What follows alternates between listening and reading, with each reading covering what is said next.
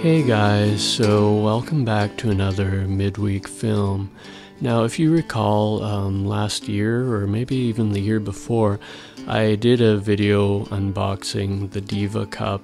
So today I'm just going to do a quick follow up to that um, how to actually clean and sterilize the Diva Cup because that is a very important step if you want the Diva Cup to remain a viable option uh, for you.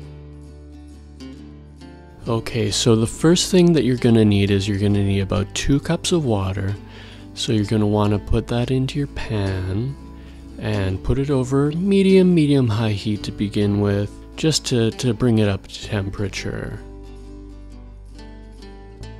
Okay, next, of course, you're going to need your Diva cup.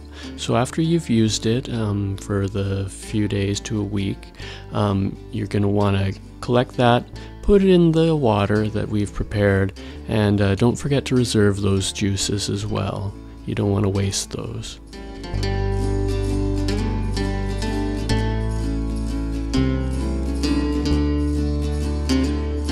Okay, so next you're going to want to add a piece of kombu, um, which adds a really beautiful umami flavor uh, to the resulting stock that we're going to prepare today.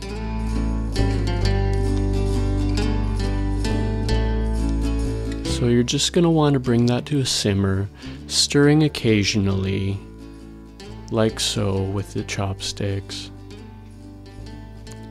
Just so you get even sterilization, even cooking.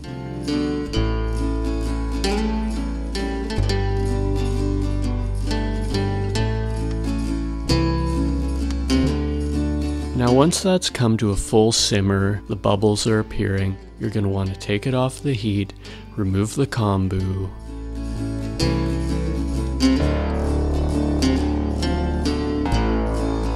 remove the Diva cup, and set those aside.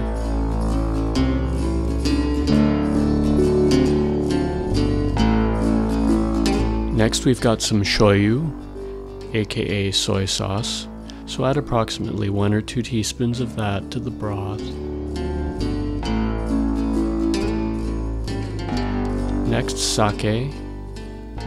Again, I'd say about two teaspoons of that as well.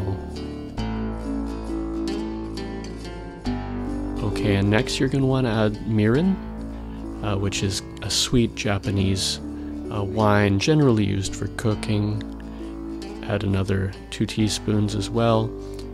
Give it a stir.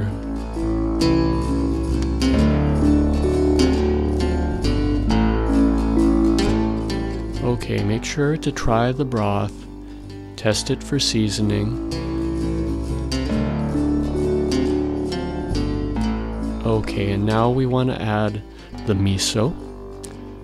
So add approximately one and a half tablespoons of miso and stir.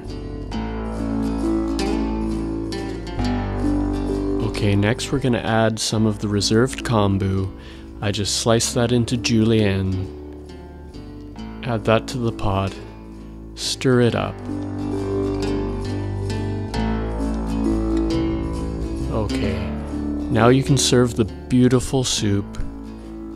I like to serve it in this Japanese bowl that I bought from Daiso.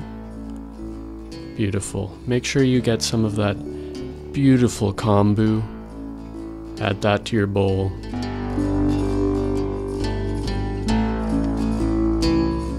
Just look at that beautiful color.